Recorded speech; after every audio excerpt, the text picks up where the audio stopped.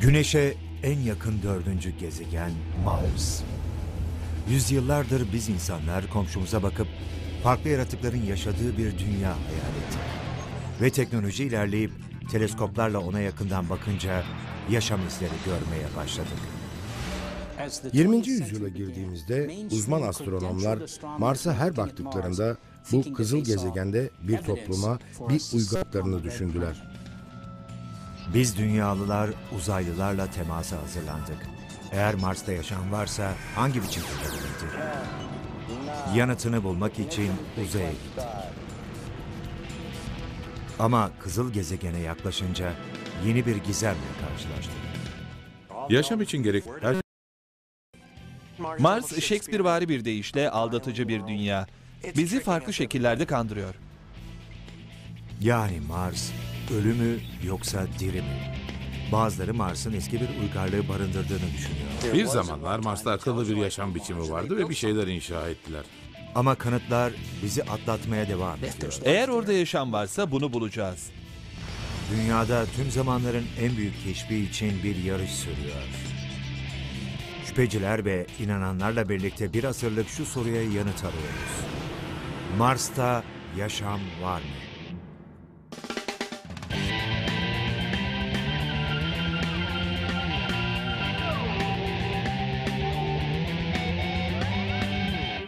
Eğer Mars'a bir gezi planlıyorsanız, işte yolculuğunuzun daha rahat ve faydalı olmasını sağlayacak birkaç öneri. Toplamda bu yolculuk gezegenler arası gemiyle 12 aylık uçuşunuz da dahil olmak üzere yaklaşık 2,5 yıl sürecektir. Lütfen keyfinize bakın. Erzaklarınızı iyi planlayın. Çok miktarda su götürmeniz gerek. Şimdilik gezegen yüzeyinin hiçbir yerinde sıvı H2O bulunmamaktadır. Ayrıca uygun bir uzay kıyafetiyle yeterli miktarda solunabilir havaya ihtiyacınız olacak. Son olarak unutmayın, dünyaya oranla Mars, Güneş'ten bir buçuk kat daha uzaktadır. Ve bu onu soğuk bir gezegen yapar. Isı sıfırın altında 90 derece Celsius'a kadar düşebilir. Kısacası sıcak tutan bir şeyler giyin. Bu teknik ayrıntılar bir yana Mars'ın sunacağı çok şey var. Güneş sisteminin bilinen en büyük volkanı, harika bir kanyon ve nefes kesici çöller. Kültürle ilgilenenlerin ise meşhur suratı görmeleri şart. Seçim şansınızı kullandığınızı biliyoruz ve Mars'ı seçtiğiniz için teşekkür ediyoruz.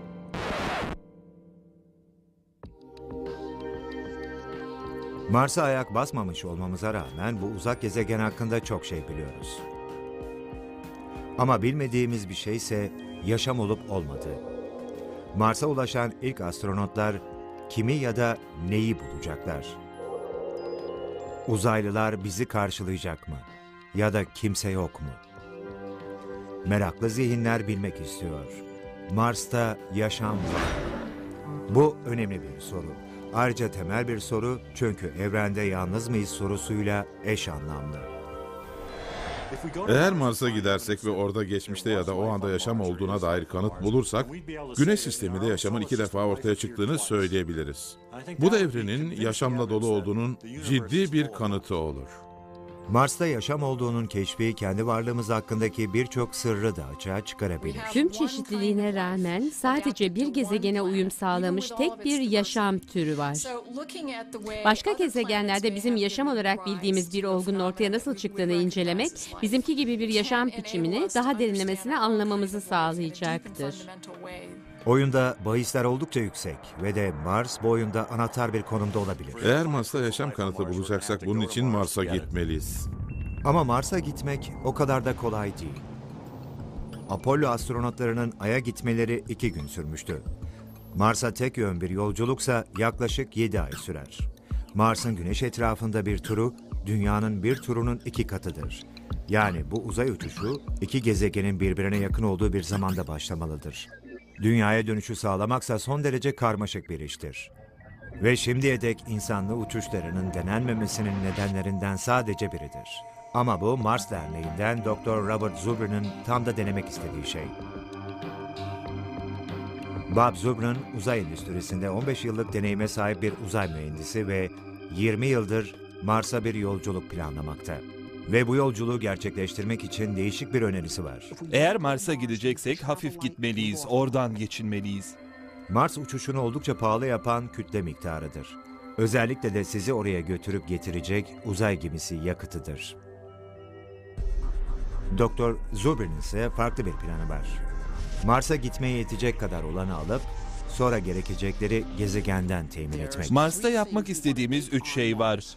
İlk olarak en önemlisi yakıt, ondan sonra su ve üçüncüsü de oksijen. Üçünü de bu makineyle yapabiliriz. Makine şöyle çalışıyor. Mars atmosferinin %95'i karbondioksit gazından oluşur. Bunu reaktöre pompalıyoruz. Az bir miktar hidrojenle karıştırıyoruz. Bu reaksiyonla ister metan, ister karbon monoksit ya da bu ikisinin bir karışımı ve su elde edebiliriz. Metan ve karbon monoksit karışımları geri dönüş yolculuğu için yakıt olarak kullanılabilir. Su. Suyu saklayıp içmek için kullanabilir ya da elektrolizle hidrojen ve oksijene dönüştürebiliriz.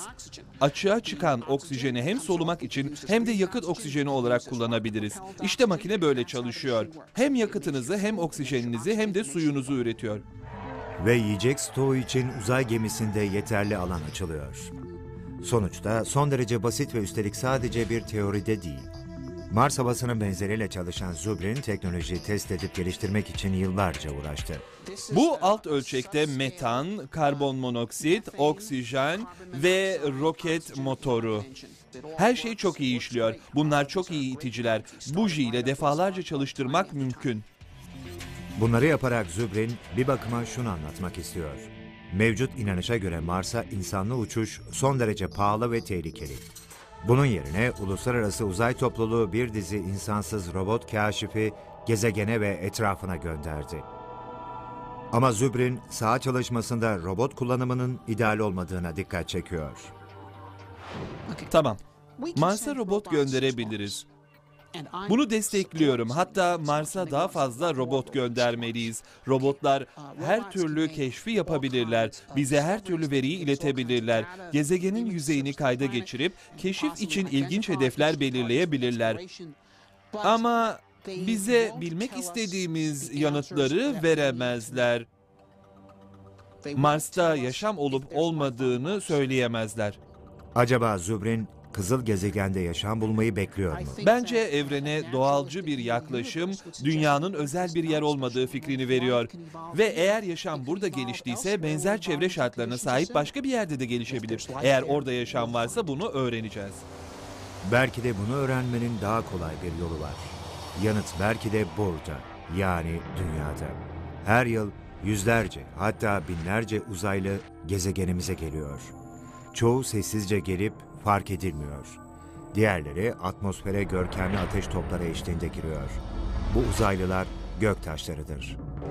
Yüzyıllardır gökten düşen bu taşlar merak uyandıran nesneler olarak müzelerde ya da özel koleksiyonlarda kendilerine bir yer buldu. Ama göktaşlarının taşıdığı bilgiler o kadar önemli ki günümüzde bilim insanları onları toplamaları için arama ekipleri gönderiyorlar. Göktaşları dünyaya rastgele düşse de en popüler av alanı Antarktika.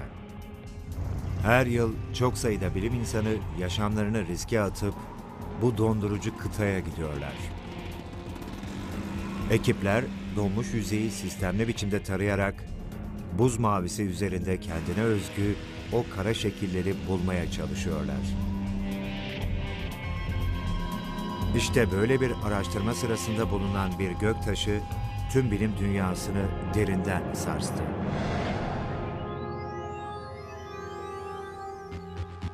Ekip bunu Houston'daki Johnson Uzay Merkezi'nde bulunan özel bir tesise yolladı. Çünkü orası NASA'nın tüm uzaylılarını tuttuğu yer. 84001 yani Allen Hills göktaşı. Bu garip yeşil kaya sıkı bir karantina altında tutuldu.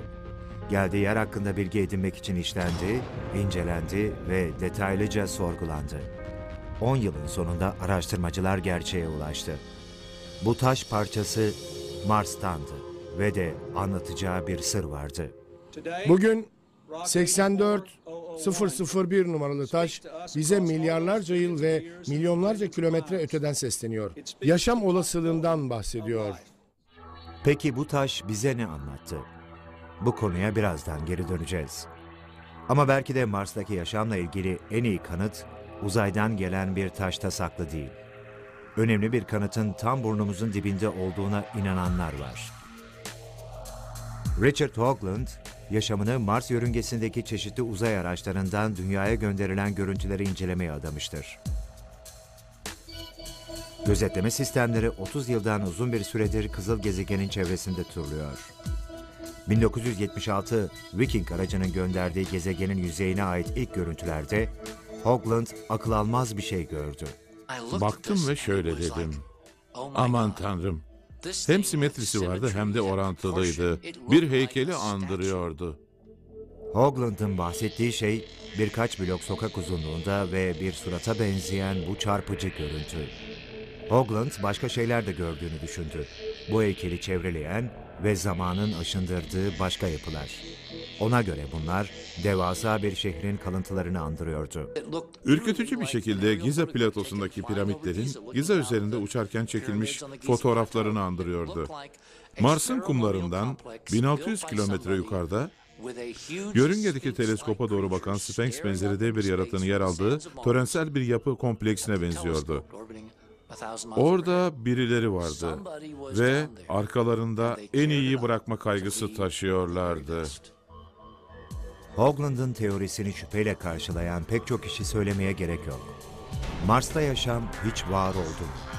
Bir zamanlar uzaylı yaşam biçimlerinin kurduğu eski bir uygarlık var mıydı? Eğer varsa nereye gittiler? İster inanın ister inanmayın, Mars'ta akıllı bir uzaylı ırkın yaşadığı fikri bilim kurgunun icadı değil, bizzat bilimindir. İnsanlığın ilk çağlarında Mars geceleri gökte hafif bir kızıllıkta parlardı ve bu durum güçlü bir tanrıyla, elbette savaş tanrısıyla bağdaştırılmasına yol açtı. Derken teleskop denen yeni bir alet kullanan astrologlar, gökyüzünde parlayan bu ışıkların her birinin tıpkı bizimki gibi bir gezegen olabileceğini belirlediler. Bu, uzaklarda bir yerlerde başka yaşam biçimleri, başka uygarlıklar olabileceği anlamına geliyordu. Mars'ı bir cazibe yıldızına dönüştüren İtalyan astronom Giovanni Schiaparelli oldu. 1877'de teleskobunu Mars'ın yüzeyine çeviren Schiaparelli, kanallerin varlığını belirledi. Kanali derken doğal kanalları kastettiyse de kötü bir çeviri yüzünden bu kanallar İngilizce'de channel yerine canals yani insan yapımı kanallar olarak algılandı. Bu hatanın etkisini tam anlamak için henüz birkaç yıl önce insan yapımı görkemli Süveyş kanalının tamamlandığını düşünmek yeter. Kanal, Kızıldeniz ve Akdeniz'i birleştirerek doğaya ve coğrafyaya meydan okuyordu.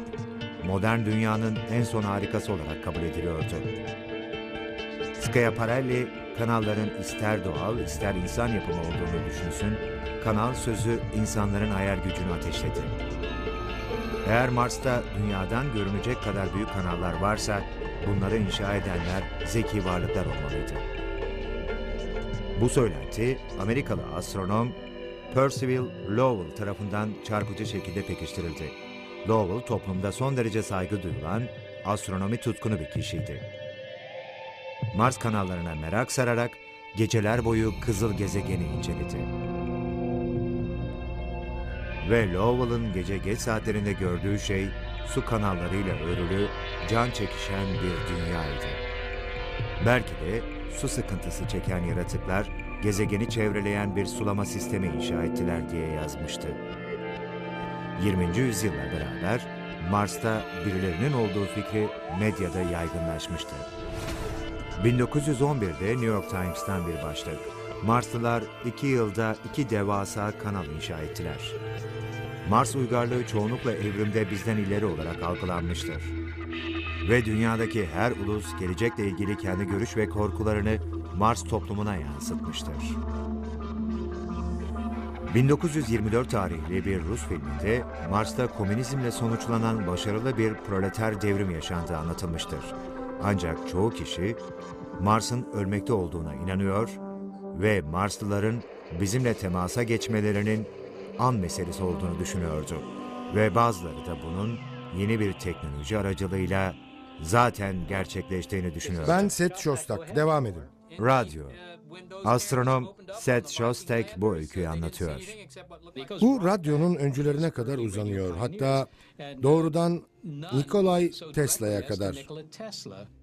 Tüm zamanların en parlak elektrik mühendislerinden biri olan Nikola Tesla, gezegen dışından dikkatimizi çekmeye çalışanlar olduğunu iddia eden ilk kişiydi. 1899'da Tesla büyük bir anten işlevi gören bir elektrik icadı üzerinde çalışırken garip bir şey fark etti. Sürekli tekrarlayan ve daha önceden bildiği fırtına ve yerküre seslerinden tamamen farklı sinyaller. Ve haliyle bunu akıllı canlıların varlığına yormasının nedeni ise Tesla'nın bildiği kadarıyla sadece vericilerin radyo sesi yaymasıydı. Doğal olarak bir şeyler duyuyorsa bu duyduklarını birilerinin yaydığını düşündü. Aslında Tesla büyük ihtimalle hata yapmıştı. Shostak haftalık SETI radyo şovunda bunu sıkça açıklıyor. Tesla'nın tam olarak ne duyduğunu bilmiyoruz ama büyük ihtimalle ıslıkçı dediğimiz şeydi. Bunlar uzak fırtınalar ve şimşek yüklerinin ürettiği ve dünyanın etrafında yayılırken atmosfer yüzünden bozulan doğal radyo dalgaları. Sesleri tıpkı ıslıkçalar gibi. Modern bilim bir açıklama getirmiş olabilir. Ama Tesla yine de zamanının ötesindeydi. Bir gezegenden diğerine sinyal gönderme fikri mantıklıydı ve radyo tutkunlarına uzaydan gelen sinyalleri dinlemeleri yolunda ilham verdi.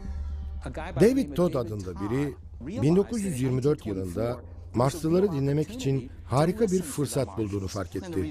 Bunun nedeni 1924 yılının Dünya ve Mars'ın birbirine yaklaştığı zamanlardan biri olmasıydı. Böylece insanların her 2-3 saatte 5 dakikalığına radyo yayını ara vermelerini organize edip gerekli teknik donanıma sahip olanların ki buna ordu da dahildi Mars ya da diğer gezegenlerden gelen sinyalleri dinlemelerini sağlamıştı. Ama mesaj neyse biz insanlar bunu yakalayamamıştık. İşte o noktada Marslılar hırçınlaştı. Bayanlar ve baylar, dans müziği programımıza size kıtalar arası radyo haberlerinden özel bir bülten sunmak için ara veriyoruz. 1938 yılında Mars saldırdı. Bunun bir uydurmacı olduğu ortaya çıktı. H.G. Wells'ın Dünyalar Savaşı adlı kitabından esinlenen yaratıcı bir radyo programıydı. Ama çoğu kişi buna kandı ve dünyanın uzaylılar tarafından tehdit edildiğine inandı. Düşünürseniz o kadar da mantık dışı değildi. Demek istediğim 1930'ların son yarısında gerçekten istila edilen yerler vardı. Yani toplumdaki genel kanıya göre düşman güçlerin bir yere gelip orayı ele geçirmesi fikri uzak değildi. Ve geldiler de. İrili ufaklı Marslılar gökyüzünden gelip sinema salonlarına indiler. Bazen dev böceklere benziyorlardı. Çoğunlukla şüphe uyandıracak şekilde insana benziyorlardı ve farklı farklı boyut ve şekillerde karşımıza çıktılar. Lazer silahları, buharlaştırıcıları, ölüm ışınları ve ölümcül öpücükleri vardı. Altın ve silahın dünyalı kadınların ve insan kanının peşindeydiler. Kesin olan şey ise nadiren dost canlısıydılar. Çok geçmeden gerçek uçan daireler görüldüğü ihbarları San Francisco'dan Timbuktu'ya yayılmaya başladı ve uzaylılar tarafından kaçırılma olgusu doğdu. Dünyayı bir uzaylı çılgınlığı kaplamıştı. Ne olursa olsun halkın hayal gücü insanoğlunun atacağı en büyük adımın temelini oluşturdu. 8 yıl içinde Amerika bir ulaşım sistemi kurup uzay yolcusu bir ulusa dönüştü. Belki de Mars'taki komünistlere demokrasi götürmeye niyetliydiler. Ancak en fazla Ay'a kadar gidilebildi. Ve orada uzaylı olmamasına rağmen eğer biz oraya kadar gidebiliyorsak öyleyse gezegenler arası uçuş yapabilen uzaylı bir yaşam formu da var olabilir diyebiliriz. Peki ya Mars? Teknolojimiz ilerledikçe robot bir izciyi kızıl gezegene yolladık. İniş çok başarılıydı. Robot yere kondu, kamerasını açtı ve sonunda Mars'a iyice bir bakabildik. Beklediğimiz gibi değildi. Ne büyük bir hayal kırıklığı. Mars'ta yaşayanlar, şehirler ve kanallar olduğunu düşündüğümüz onca yıldan sonra ne bulmuştuk? Sadece korkunç, berbat, ölü görünüşlü bir yer. Hepsi bu. Bayanlar ve baylar, üzülerek bildiriyorum ki Mars ölü. Gerçekten. Mars şu an boş olabilir ama Richard Hoagland'ın dediklerine inanırsak, kızıl gezegen bir zamanlar gelişmiş bir uygarlığa ev sahipliği yapmış olabilir. Hoagland, bilim insanları, araştırmacılar ve Mars tutkunlarından oluşan Enterprise Mission adlı bir topluluğun baş araştırmacısı. Yıllardır olağan dışı bir teoriyi kanıtlamak için çalışıyorlar. Hoagland, teoriyi şöyle özetliyor. Eğer bilim adamlarını Mars'ta bir zamanlar bir uygarlık var olduğuna ikna etmek sorununun tek bir sözcükle tanımlayabilirsek, o sözcük geometri olurdu sanırım. 1976 Viking aracının ilettiği bu surata benzeyen şu heykeli ele alalım. NASA bunun doğal bir taş oluşumu olduğunu iddia ediyor. Hoagland ise daha fazlasını görüyor. Eğer oranlarına ağzın, burnun ve gözlerin bulunduğu noktalara bakarsanız, bunun binlerce yıldır kabul gören insan biçimiyle uyumlu olduğunu görürsünüz. Ve Hoagland, surat çevresindeki yapılarda da son derece karmaşık bir geometrik ilişki buldu. Hoagland, Sidonya adı verilen bu bölgenin tasarımının dünyadaki eski uygarlıklara ait törensel alanlarınkine benzediği iddiasında. Sıralama, paralellikler, dik açı çizgisine uygunluk var. Ayrıca suratla şuradaki diğer devasa yapıyla ve öteki yapılarla aralarında da belirli geometrik bir ilişki var. Teorisini kanıtlamak için Hoagland ve meslektaşları, ortama uymayan yapıları saptayacak bir dizi bilgisayarlı resim analiz programı kullandılar. Ve suratla birkaç yapı aykırılık olarak tespit edildi. Bu aykırılık yapay oluşumları gösteriyordu. Bu gerçek fotoğraf. Buysa fraktal bir temsil. Ve yine önemli olan sinyal gücü tabii ki. Kesin olan şey bu bilgisayar neyi araması için programlandıysa onu bulur. Yani herhangi bir şeyin doğal olup olmadığını bildirmez. Hoagland kendi gözlerinizle de fark edebileceğiniz bazı noktalar olduğunu savunuyor. Şu piramide bakalım. Doğru bir tepe noktası ve keskin açıları olan 4 adet üçgen yüzlü kusursuz bir yapı. Bunun şüphesiz birileri tarafından inşa edilmiş olması gerek. Çünkü doğa bu şekilde yapılar yapamaz. Eğer bir gün oraya inersek ve bu şeye girip içinde dolaşırsak, dışı böyle iyi durumdaki bir yapının içinde bizi nelerin beklediğini bir düşünün. Neler olabilir? Peki bir uygarlık var olduysa ona ne oldu? İşte bu noktada iş ilginçleşiyor. Ancak yine bu noktada bir şekilde bilimden spekülasyona geçiyoruz. Ne yazık ki sahada bir doğrulama yok. Peki NASA neden bu konuya eğilmiyor? Hoagland'a göre hükümet bir şeyler saklıyor. Örtbas ettiklerine inanıyorum. Dilerseniz komplo teorisi deyin ama buna komplo değil politika deniyor. Ama neden? Hoagland'a göre bu işin ucu NASA tarafından ısmarlanan, 1960'ta yayınlanan bir Brookings Enstitüsü araştırmasına kadar gidiyor. Bir bölümde NASA'nın dünya dışı yaşamı keşfettiğine atıfta bulunuluyor. Ve bu belge eğer uzaylıları keşfedecek olursak, yani NASA keşfederse bunu gizli tutmak gerektiğini, çünkü uygarlığı yok edebilme potansiyeli bulunduğunu söylüyor bize. Ortaya atılan fikre göre bir uygarlık kendinden teknolojik olarak ileri bir uygarlıkla karşılaştığı zaman başı belada demektir. Peki bu hükümetin uzaylıları sosyal bir krizi önlemek için sakladığı anlamına mı geliyor? Brookings raporunun konuyla ilgili tek dediğinin daha fazla çalışma gerektiği olduğunu düşünürsek, bu biraz esnek bir durum. Kötü niyet var denemez. Seth Shostak, Hoagland'ın örtbas teorisinde temel bir sorun olduğunu düşünüyor. Yani eğer uzaylılar gerçekten buradalarsa ve gerçekten gelişmişlerse ve hayal edemeyeceğimiz kadar kötülerse o zaman hükümet ne yapsa nafile olacak öyle değil mi? Bu tıpkı Bambi ile Godzilla'nın savaşıp Godzilla'nın kazanması gibi bir şey. Bu dünya dışında da yaşama inanan birindendi. Shostak sadece başka bir yerlerde yaşam olduğuna inanmakla kalmayıp aynı zamanda teknolojiye de sahip olduklarına inanan bir organizasyon için çalışıyor. Bu, Berkeley'deki Kaliforniya Üniversitesi ile SETI Enstitüsü tarafından ortaklaşa kurulan ve işletilen Allen Teleskop dizisi. SETI, dünya dışı akıllı yaşam araştırmasının kısaltması. Garip gelebilir ama SETI, astrofizikçiler, mühendisler ve gezegen bilimcilerinden oluşan tamamen bilimsel bir operasyondur. Amaçları oldukça basit. Yıldızlar arasında sinyal göndermek çok kolay. Bu temel bir gerçektir. Bir yıldız sisteminden diğerine sinyal gönderen binlerce, milyonlarca, hatta daha fazla toplum olabilir. Neden onları aramayalım ki? SETI, uzaydan bir sinyal alabilmek için evreni dinliyor.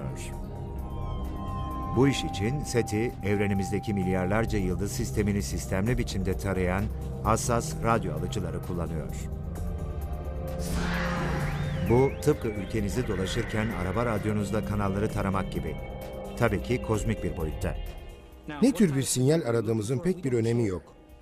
Mesajı bulmak için henüz yaratmadığımız ve onların yayında olduğunu bulana kadar yaratmayacağımız farklı türden bir teknoloji gerektiriyor.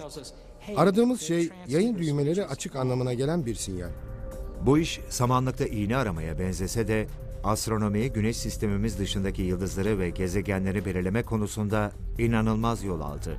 Gelişen teknolojiyle birlikte bu, SETI'nin daha hassas araştırmalar yapmasını sağladı. Arayışın nedeni insanlık tarihi kadar eski. Daha büyük bir şeyin parçası olduğumuzu gösterecek bir şeyler bulmaya çalışıyoruz burada. Devasa bir evrenin içinde özelliksiz bir galaksinin bir köşesine sıkışmış bu küçük dünyadaki yolundan çıkmış bir kimyasal olgudan fazlayız. Ödüllü soruya gelirsek. Peki SETI kontak sağladı mı? 1997'de Batı Virginia'daki teleskopumuzu kullanarak aradığımız şeye benzer bir sinyal aldık. Herkes bayağı heyecanlanıp ne olduğunu anlamak için bilgisayar ekranlarına adeta yapıştı. Sinyal, SETI'nin uzaylılardan beklediği her niteliğe sahipti. Çok dar bir frekansta ortaya çıktı. Bu önemli. Çok sayıda radyo dalgası yaratılsa da bunlar geniş bir alandaki parazitlerdir. Halbuki bu, evrendeki belirli bir noktadan yayılıyordu. Araştırmacılar gece boyunca sinyalin kaynağını bulmak için heyecanla çalıştılar. O günden sonra dünyanın bir daha eskisi gibi olmayacağının farkına vardım. Aslında oldukça gergindim. Çünkü bunun sonuçlarının neler olabileceğini bilemiyordum. Üç gün sürdü. Ama sonunda mühendisler ve bilim insanları sinyali tanımladılar. Uzaylılardan değildi. Sinyalin bir Avrupa araştırma uydusuna, SOHO uydusuna ait olduğu ve bizim anten yapımıza takıldığı ortaya çıktı ve ve bu büyük bir hayal kırıklığı yarattı. Hepimiz için büyük bir hayal kırıklığıydı. Ve bu bir hayal kırıklığı yarattı. Sonuçta uzmanlar SETI şu ana dek dünya dışı yaşama ilişkin bir kanıta ulaşamadı.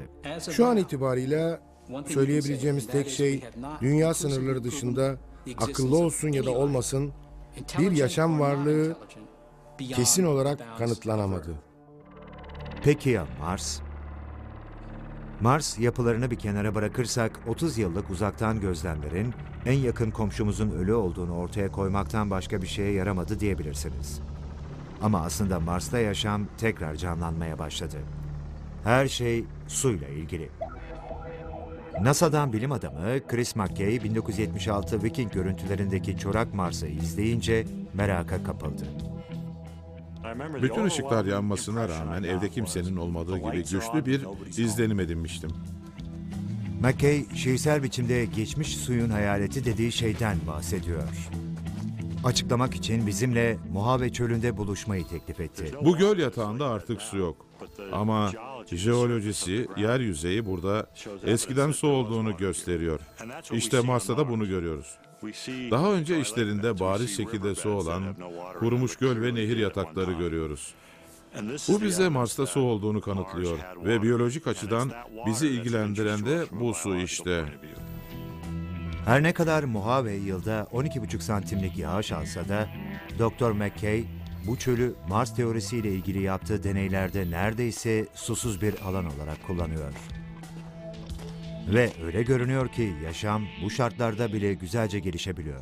Kuru şartlarda yaşama tutunmayı öğrenen mikroskopik canlılar, mikroskopik yosunlar bulduk. Bu organizma, bu yosun, göl alglerinin kuru bir versiyonu. Aylarca, belki de yıllarca kuru bir şekilde bekleyip, yağmur yağdığında bir anda canlanıp, biyolojik işlerini yapıyorlar ve yeniden kuraklık olunca kendilerini kapatıp tekrar beklemeye alıyorlar. Elbette Dr. McKay, Mars'ta çöl algi bulunduğunu iddia etmiyor. Ama orada eskiden yaşam olması ihtimalinin yüksek olduğunu düşünüyor.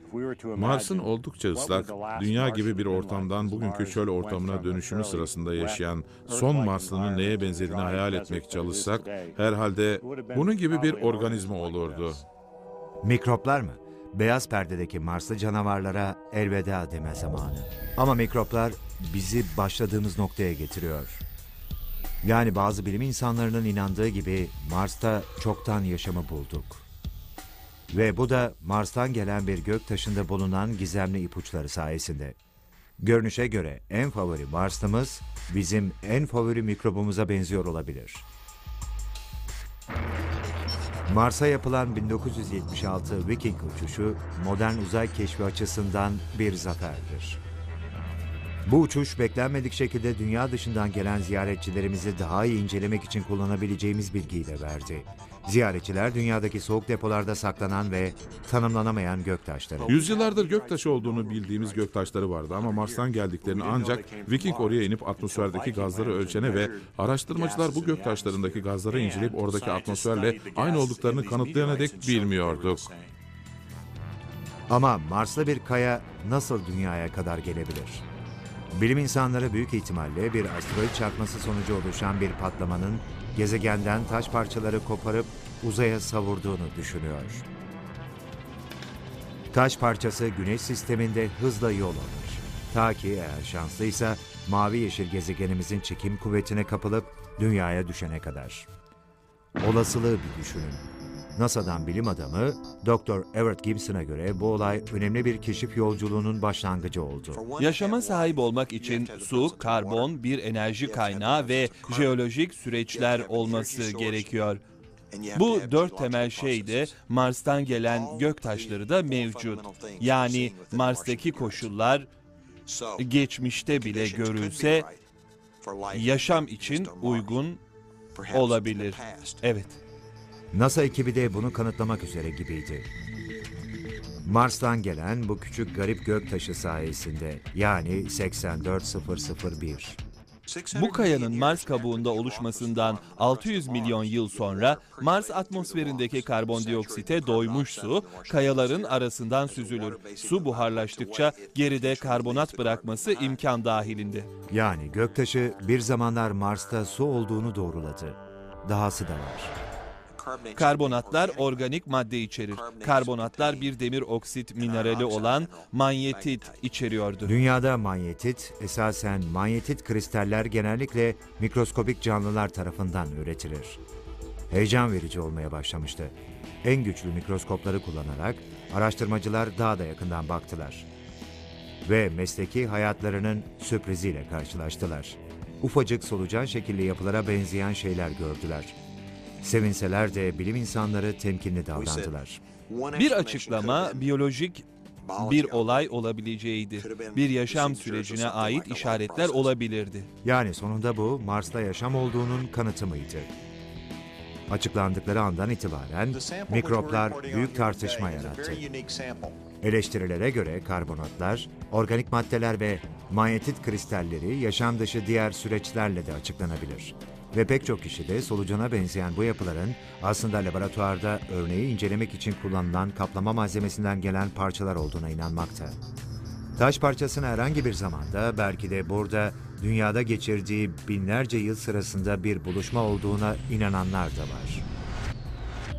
Her şeye rağmen eskiden kalma Marslı bir bakteri olasılığı Mars'ta yaşam beklentisini de yükseltti.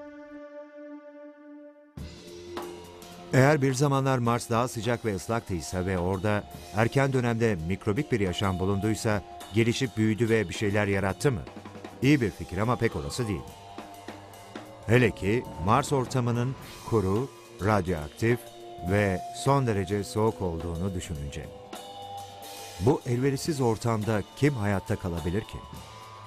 Ama belki de yaşamın doğasını çok küçümsemekteyiz. Yani mikrobik yaşamın. İster inanın ister inanmayın, astrobiyolog Penny Boston Mars'ta yaşam arıyor. Bu karanlığın kalbine yolculuk ederek. Bu bir lav tüpü.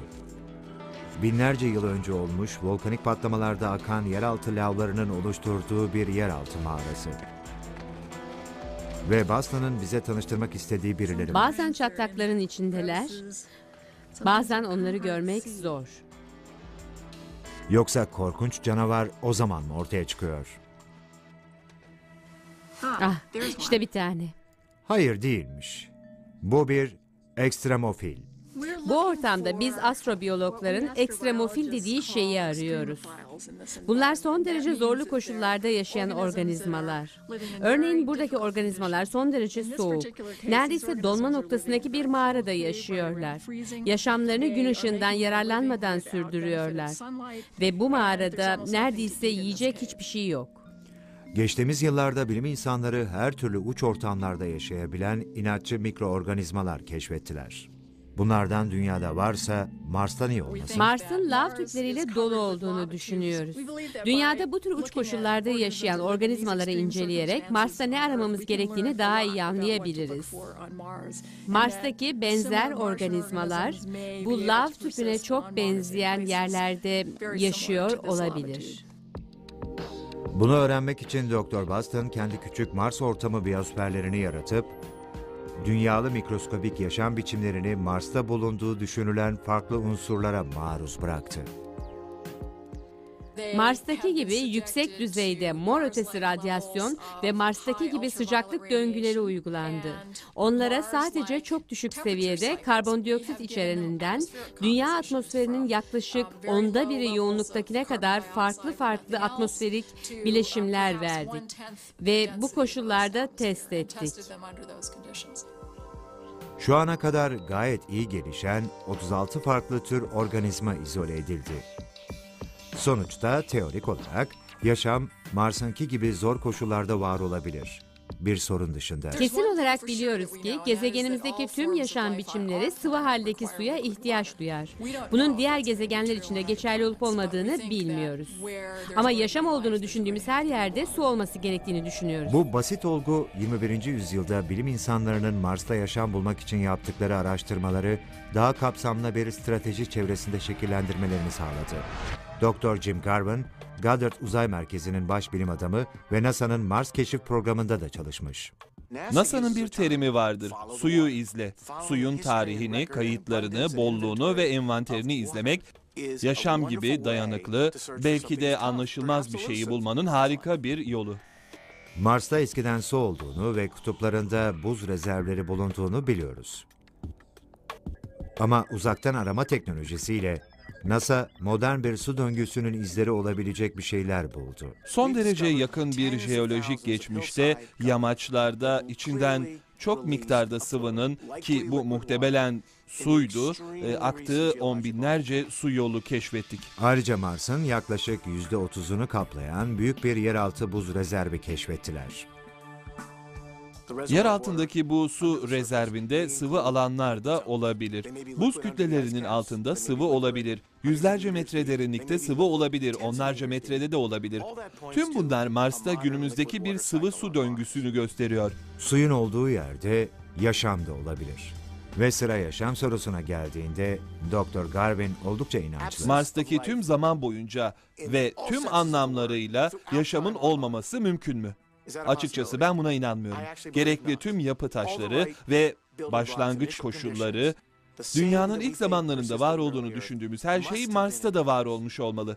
Peki bu iki gezegenin öyküsü nerede birbirinden ayrılıyor? Uluslararası uzay araştırmacılarını Mars'a yönlendiren de işte bu. Son 30 yılda onlarca insansız uçuş gerçekleştirildi. Ama kızıl gezegen bir tür Bermuda şeytan üçgenine dönüştü. Uçuşların yaklaşık üçte ikisi başarısız oldu. İçerdiği tehlikeler ve yüksek maliyetler yüzünden insanlı uçuş programları onlarca yıl boyunca ertelendi. Dr. Bob Zubrin için bu peşini asla bırakmayacağı bir hayal. NASA'nın 1981 yılına gelene dek Mars'a insan gönderme planları vardı. O planlar inandırıcıydı. Çeyrek asır önce Mars'ta olmalıydık. Bob Zubrin, uluslararası uzay topluluğunun her kanadından bilim insanlarının oluşturduğu bir koalisyon olan Mars Derneği'nin başkanı. Topluluk, Mars yolculuğunu gündemde tutmak için Amerikan Kongresi, NASA ve hükümet nezdinde yıllarca lobi yaptı. Bu sırada Zubrin çalışmaya devam etti. Mars Derneği ise Utah çöllerinde ve Kanada'daki Devon Adası'nın ücra köşelerine analog yerleşim modülleri kurdu. Bu istasyonlarda yaptıklarımız operasyon araştırması denen türden işler. Mars'ta en iyi şekilde hangi saha taktik ve teknikleri uygulanabilir, ekibin işine ne tür teknolojiler yarar onu bulmaya çalışıyoruz. Zubri'nin aklında uzayda hızlı bir yolculuktan daha fazlası var.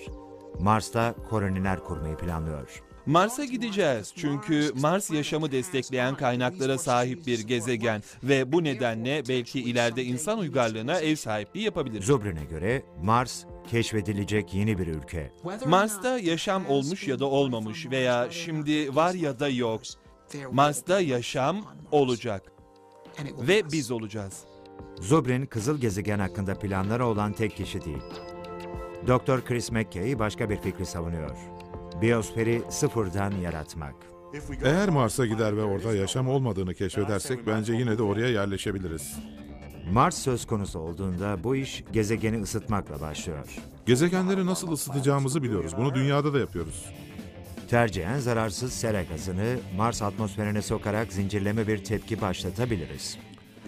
Bu gazların etkisi buzu eritip atmosferi geri getirip Mars'ı milyarlarca yıl önceki haline döndürmek olur. Tabii ama eğer orada yaşayacaksak oksijene ihtiyacımız olacak. Chris McKay bunu da düşünmüş. Bu organizmalar siyanobakteri adıyla bilinir. Bu dünyada uzun bir geçmişe sahip tek hücreli bir tür algdir. Bunlar oksijen üreten ilk organizmalardı. Bu organizmalar Mars'ta da aynı şeyi yapabilir. Onları Mars'a gönderip dünyayı değiştirmelerini isteyebiliriz. Siyanobakteriler, gezegen değiştiriciler. Bunlar küçük yeşil adamlar. Tamam adam değiller ama küçük ve yeşiller. Bekleyin. Peki ya piramitlerin durumu ne? Eski bir Mars medeniyetinden geriye kalan izler mi? Ya o suratı inşa edenler geri gelirlerse? Mars. Sidonya tepelerindeki o gizemli surat gerçekten kayıp bir medeniyetin iletişim aracı olabilir mi? İronik bir şekilde Güney Kaliforniya'daki Dünya Bilim Kurgu Kongresi'nden bir ipucu bulabiliriz. Hayır, Marslı inşaat işçileri aramıyoruz. Burada astronom Phil Plait ile tanışmak için bulunuyoruz. Bir bilim adamı olarak misyonu katılımcılara bilimsel gerçekler konusunda aydınlatmak. Bugün Mars'taki suratı ele alıyor. Sadece bu konuya açıklık getirmiş olmak için söylüyorum. Bu surata benzeyen bir kaya. Üstelik güzel bir surat da değil bu. Sanki Phil Plait, Kötü Astronomi adlı web sitesinin kurucusu ve sözde bilim dediği şeyin maskesini düşürmek için yazdığı bir kitap var. Ona göre Mars bilmecesinin çözümü çok basit. Pareidolya denilen bir kişisel özellik vardır. Bu rastgele şekillerde bir surat görme eğilimidir. Bunu her zaman görüyoruz. Dünyada da pek çok özellik görebilirsiniz. Bir kez duş perdemde Lenin'in suratını görmüştüm. Aslında sadece perdedeki bir su lekesiydi bu. Ama gerçekten de Lenin gibi duruyordu. İnsanlar bunu neden yapar? Rastgele şekillerde insan suratı görmenin bir açıklaması, bebekliğimize kadar giden bir hayatta kalma tekniği olması. Suratlara tepki vermek, bebeklerin çok ilgisini çeker. Bebek, annesinin dikkatini çekmek için bir insan suratı arar ve tatlı sesler çıkarır. Nedeni ne olursa olsun, Plate'e göre gözlerimizle gördüklerimize her zaman güvenemeyiz. Beynimiz rastgele şekilleri sevmez. Karmaşanın içinde, rastgele olanın içinde gerçekten düzenli bir şekil arar. Aslında var olmasa bile. Yani bir grup noktaya baktığınızda bir kafa ya da İsa'yı görebilirsiniz. Aslında bu beynimizin düzenli olmayan bir şeklin içinde düzen aramasından başka bir şey değildir. Bütün olup biten bu işte. Eğer Mars yüzeyine dikkatlice bakarsanız daha pek çok surat görebilirsiniz. Plate bunların eski bir uygarlıktan kalan anıtlar değil de surata benzeyen şekiller olduğunda ısrarlı. Mars'taki anıtlar teorisinin baş savunucusu Richard Hoagland bu iddiaya yıllardır karşı çıkıyor. Kendi teorisinin güzel bir surattan daha önemli bir dayanağı olduğunu söylüyor. Şayet 30 yıllık bu arayışımı, yani bir zamanlar Mars'ta zeki bir yaşam biçimi var olduğu ve bir şeyler inşa ettiklerini riske atıp bir bahse girsem, Sidonya'nın geometrisinin şans eseri oluşması ihtimaline trilyonla bir derdim.